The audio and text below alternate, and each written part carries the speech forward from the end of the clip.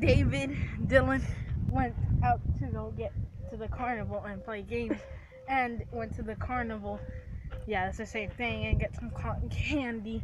After that, we went to get some uh, Burger King, and obviously bought things there because we felt really hungry.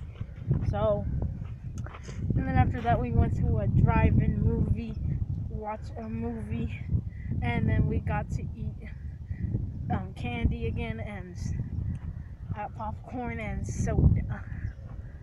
And obviously, after that, the movie was too cool that it ended really awesomely. So after that, after that, we went home and hang out and play games and had a really fun day.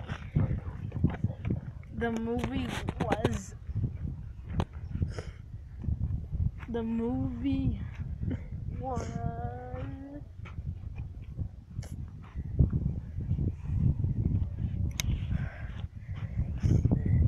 um I forgot find it Terminator Genisys. Don't- Why? Yes, that is correct. I just forgot the name. So, Yes. And then Diego came, and then we went to Diego's house, and we played with him and then do some fun stuff that we like to do. like make movies and stuff. And that's how all had fun together and we ended a good good day.